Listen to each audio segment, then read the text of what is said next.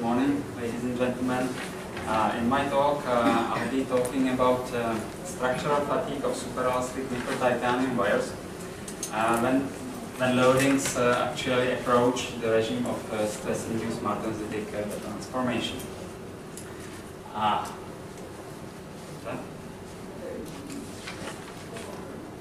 Doesn't work? Okay, okay, okay.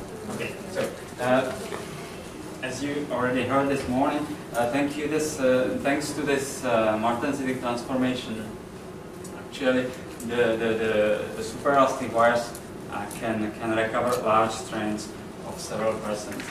Uh, as it is well seen on this typical uh, stress strain curve of a superelastic wire, where you spot the plateau stress at, which the, martensitic transformation is actually uh, induced within the current austenite phase and these large strains uh, appears. Well, this functional property is actually used in medical devices and uh, in these devices, of course, the, the, the, uh, the fatigue properties are, are critical. But un unfortunately, as reported by many, many authors, the fatigue properties actually drop down to, to low cycle fatigue whenever these large strains are cyclically induced uh, in the wire. Uh, but actually, well, because the functional property is linked to strains, the fatigue properties are often uh, like interpreted in terms of uh, amplitudes of, of, strains. But actually, it is not uh, straightforward to, to identify the fatigue properties in intermediate strains.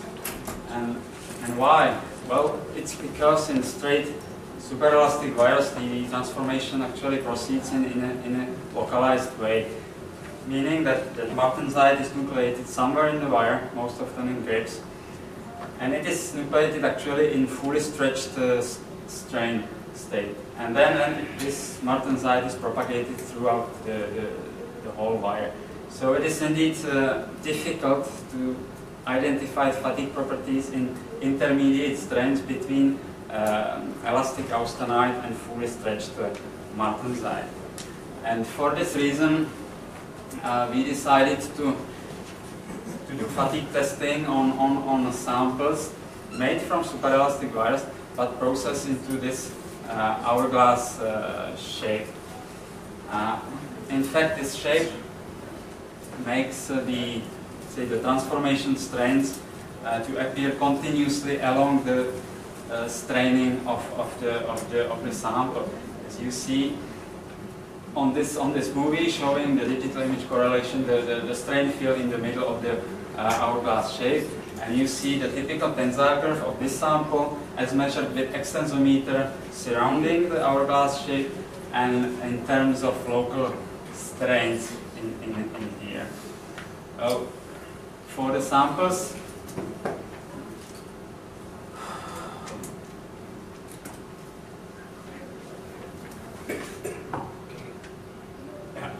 we actually we actually used uh, uh, thicker, thicker wires, of course, to be able to process it into this shape. We used the uh, the wires of, of 1.78 millimeters and provided by Fort Wayne Metals in in in uh, uh, as-drawn state.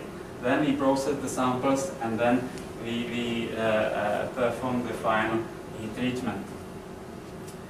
Now, we did testing in, in two temperatures. Why?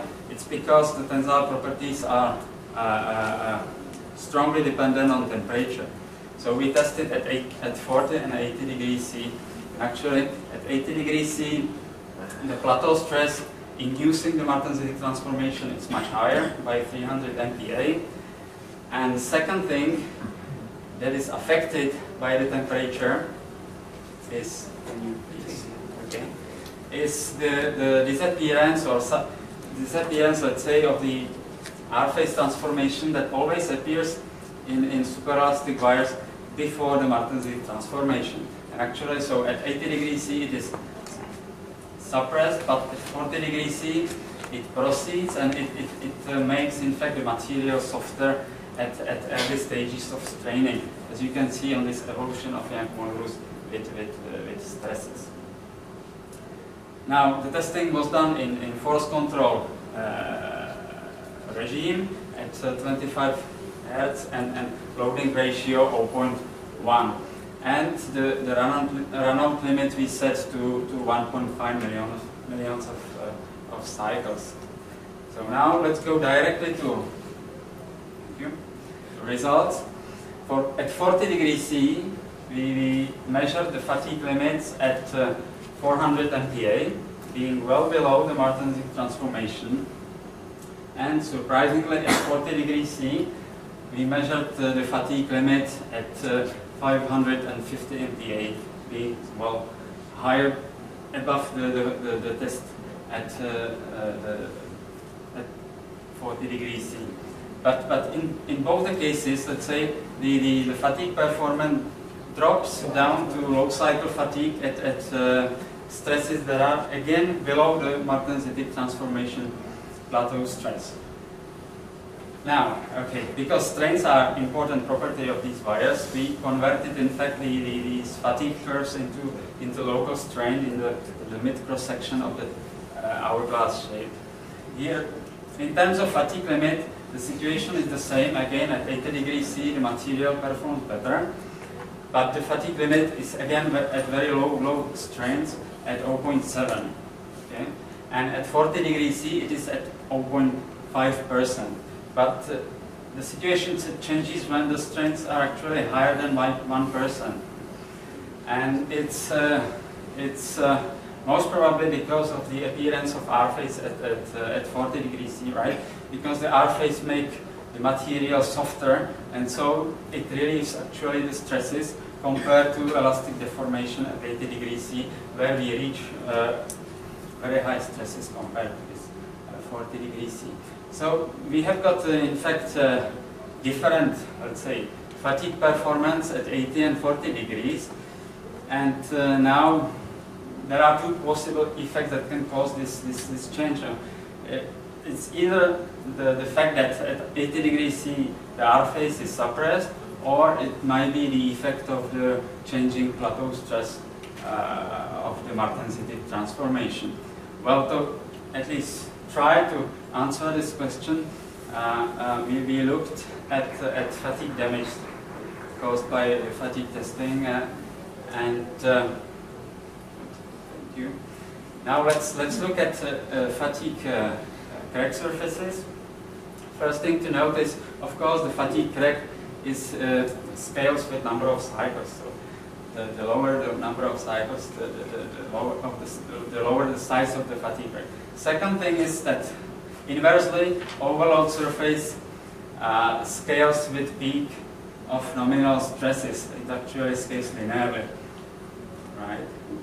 And now we calculated the we calculated actually the normal stresses and at the reduced uh, surface areas.